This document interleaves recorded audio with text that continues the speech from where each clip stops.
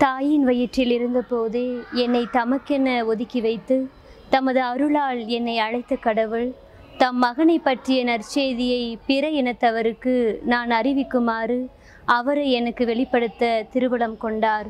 கலாத்தியர் ஒன்று பதினைந்து. இறை இயேசு கிறிஸ்துவில் பிரியமானவர்களே யாவருக்கும் யாதுமாக என்னும் அறநெறியை முதலாய் முற்பணியாய் கொண்டு இறை அன்பில் வேரூன்றி பிறரன்பு பணி செய்வதே இறை அழைத்தலின் நோக்கம்.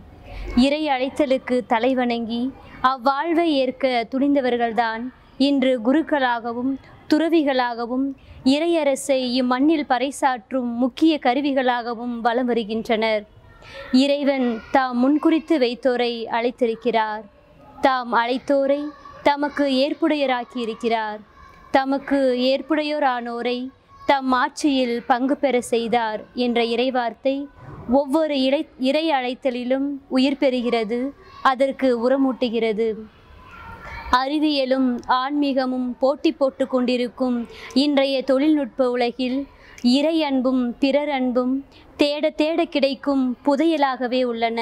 இருப்பினும் அன்னையாம் திரு அவையிடமிருந்து கடவுளின் மாட்சியால் தோன்றி வெளிப்படுத்தப்படும் இறை அழைத்தல் எனும் தார்மீக உணர்வு மானுடத்தில் பல மாற்றங்களை ஏற்படுத்தி கொண்டுதான் இருக்கிறது.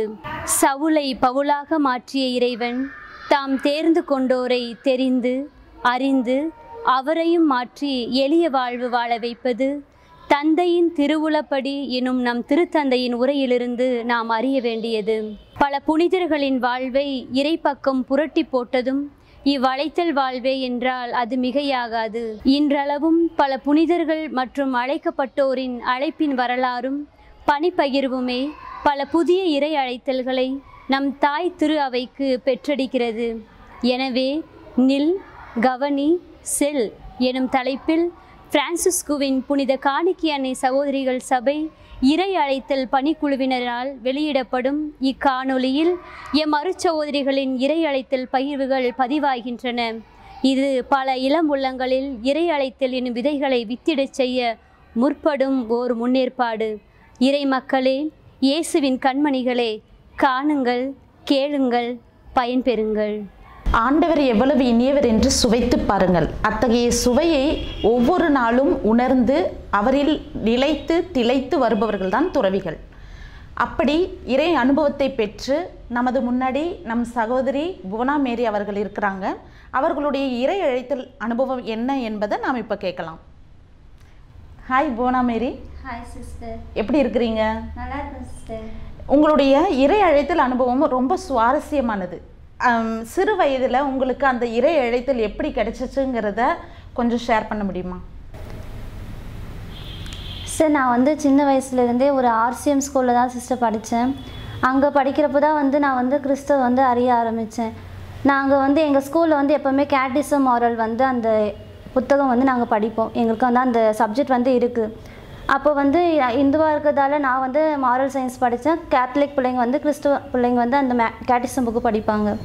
அப்போ அந்த கேட்டிசம் புக்கில் வந்து என்ன தான் இருக்குது அப்படின்ட்டு தெரிஞ்சுக்கிற ஆசை வந்து எனக்கு இருந்துச்சு. அப்போ ஃப்ரீ டைமில் வந்து அந்த பிள்ளைங்கிட்ட அந்த புத்தகம் வாங்கி நான் படிப்பேன். அதில் என்ன தான் இருக்குன்னு சொல்லிட்டு.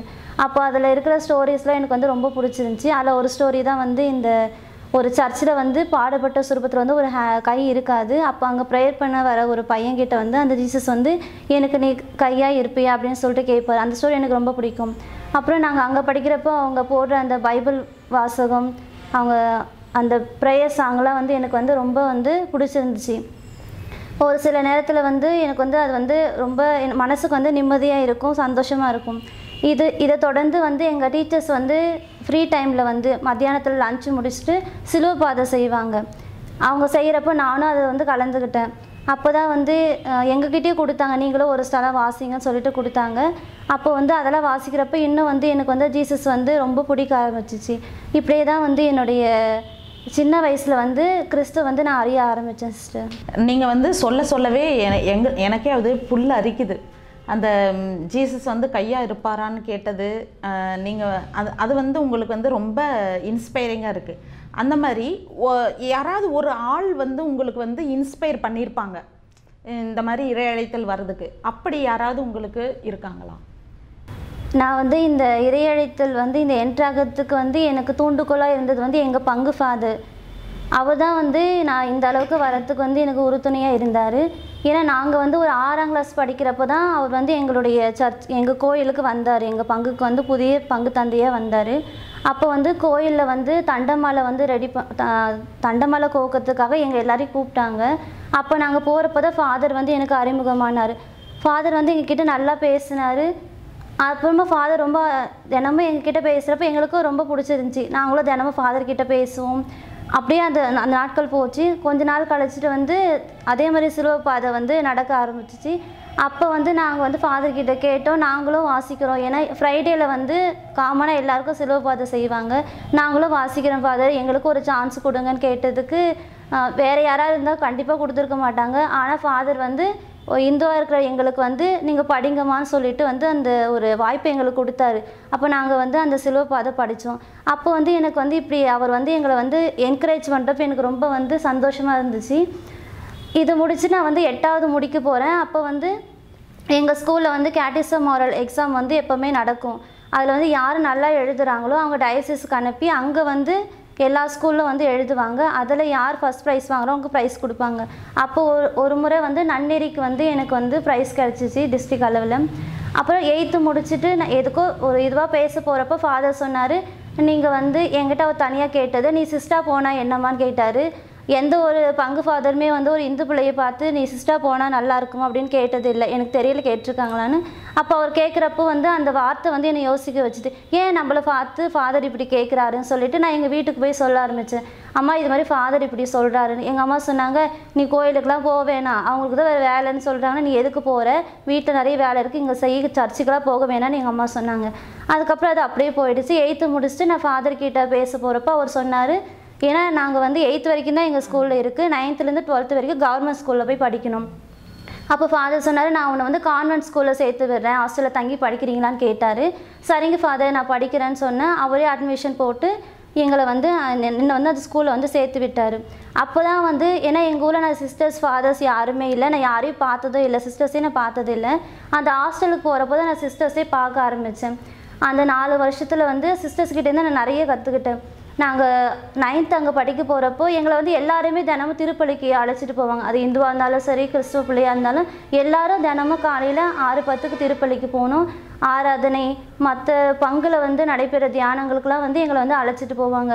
அப்படி போய் போய் தான் எனக்கு வந்து கொஞ்சம் கொஞ்சமாக வந்து நான் வந்து ஜீசஸ் பற்றி நிறைய வந்து அறிய ஆரம்பித்தேன் அப்புறம் வந்து இடையில வந்து தினமும் வந்து ரோசரி சொல்லுவோம் நாங்கள் ஜ ஜவமாலை வந்து ஈவினிங்கில் வந்து எல்லாருமே கண்டிப்பாக சொல்லணும். இப்படிலாம் போகிறப்போ தான் வந்து எனக்கு வந்து இன்னும் வந்து சரி நம்ம போகிற பாதை வந்து தவறானது. நம்ம வந்து இதிலேருந்து மாறணும் அப்படின்ட்டு வந்து ஒரு இன்ஸ்பிரேஷன் எனக்கு கிடச்சிச்சு. அப்போ ஒரு டைம் நாங்கள் அந்த தியானத்துக்குலாம் போகிறப்போ ஃபாதர் வந்து ஒரு பைபிள் வார்த்தை சொன்னார். அது வந்து திருத்தூதர் பணிகள் நாலு பன்னெண்டில் வந்து இவரால் எஞ்சி வேறு எவராலும் மீட்பு இல்லை. அப்போ இவருன்றது அந்த இயேசுவை தான் குறிக்குது. அப்போ வந்து அந்த வார்த்தை வந்து எனக்கு வந்து ரொம்ப ஒரு இதுவாக இருந்துச்சு. சரின்னு சொல்லிட்டு நான் விஸ்டர் டேக்கு அம்மா வரப்பெல்லாம் சொல்லு அம்மா இது மாதிரி இப்படி ஃபாதர் சொன்னார் இப்படி தியானத்துக்கு போகணும் அப்படின்னு சொல்லிட்டு நிறைய சொல்கிறப்ப அம்மா சரின்னு சொல்லிட்டு எதுவும் கேட்டுக்க மாட்டாங்க சரின்னு சொல்லிட்டு அமைதியாக இருப்பாங்க. அப்புறம் ஒவ்வொரு டைமும் நைட்டில் வந்து ரெக்ரேஷனில் வந்து குட் நைட் டாக் வந்து சிஸ்டர்ஸ் சொல்லுவாங்க. ஒவ்வொரு சிஸ்டர்ஸும் வந்து எங்களுக்கு வந்து அவங்களோட எக்ஸ்பீரியன்ஸ் சொல்லுவாங்க இறை அழைத்தல் அனுபவம் சொல்லுவாங்க.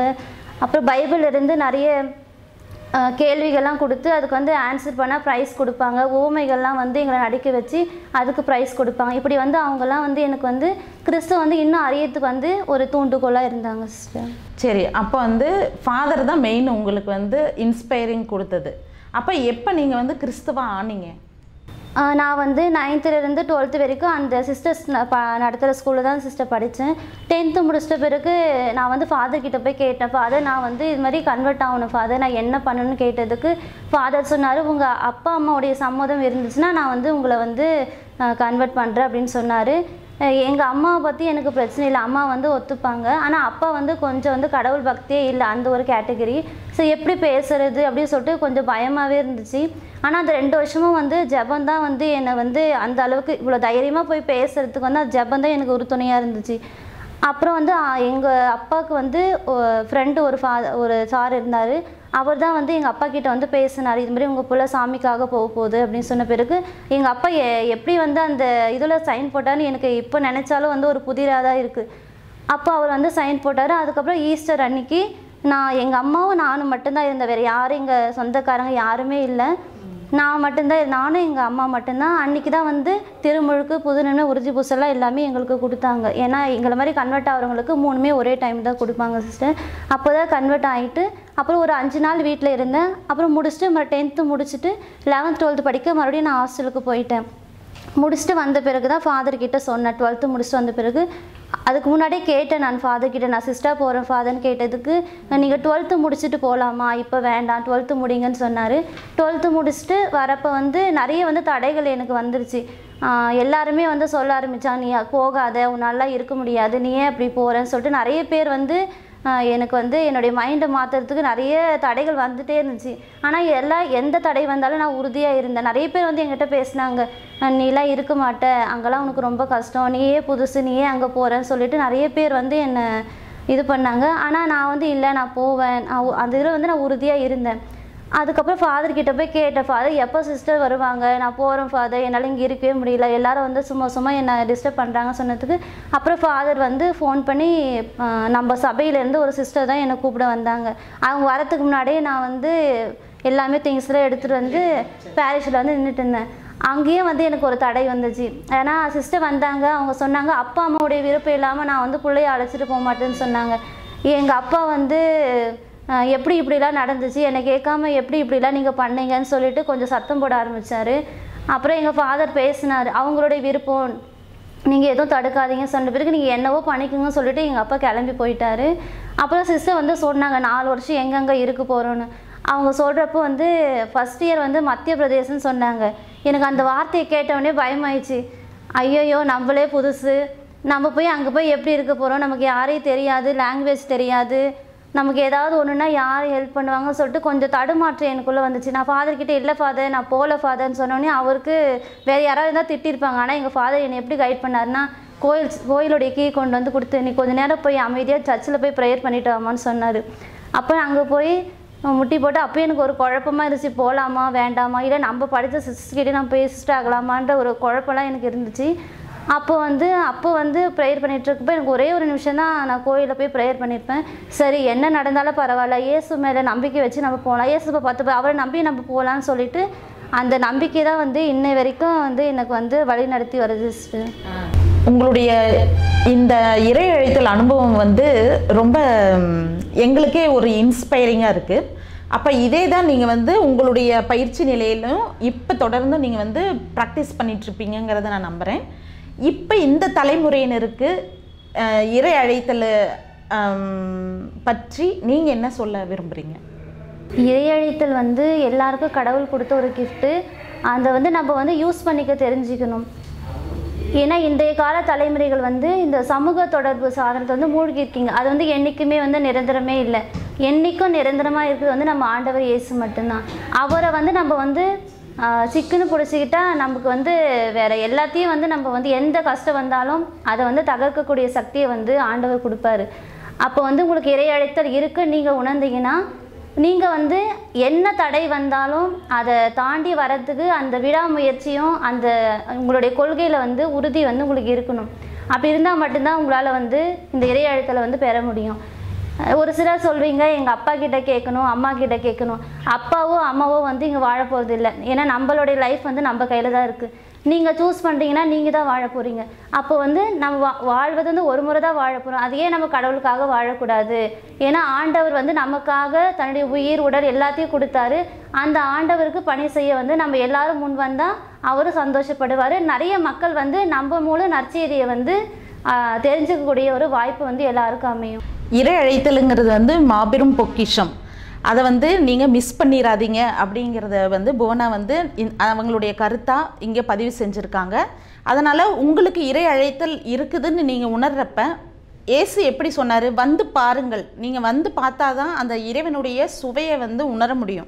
நான் வந்து ஒரு ஆப்பிள் கையில் வச்சுருக்கேன்னா நான் சாப்பிட்டு பார்த்தா தான் அதனுடைய இனிமையும் சுவையும் நான் வந்து உணர்ந்து அதை பற்றி மற்றவங்களுக்கு சொல்ல முடியும். அதனால் நீங்களும் உங்களுக்கு இறை அழைத்தல் உ- இருந்துச்சு அப்படின்னு நினச்சிங்க அப்படின்னா கண்டிப்பாக வந்து பாருங்கள் போனா நீங்கள் வந்து கடவுளை வந்து எப்படி சிக்கென பிடிச்சி உங்களுடைய ஒவ்வொரு நிலையிலையும் கடந்து வந்தீங்கங்கிறத அழகாக எங்களுக்கு வந்து எடுத்து சொன்னீங்க. அந்த நீங்கள் சொன்ன அந்த விதத்துலேயே நிறைய பிள்ளைங்க வந்து இன்ஸ்பயர் ஆகி கண்டிப்பாக இந்த இறை அழைத்தல் வந்து ஒரு பொக்கிஷமானது அப்படிங்கிறத உணர்ந்து வருவாங்கங்கிறது நாங்கள் நம்புகிறோம் அதனால் உங்களுடைய இறை அழைத்தல் அனுபவத்தை எங்களோட ஷேர் பண்ணதுக்காக உங்களுக்கு எங்கள் நன்றிகளை தெரிவித்துக் கொள்கிறோம்.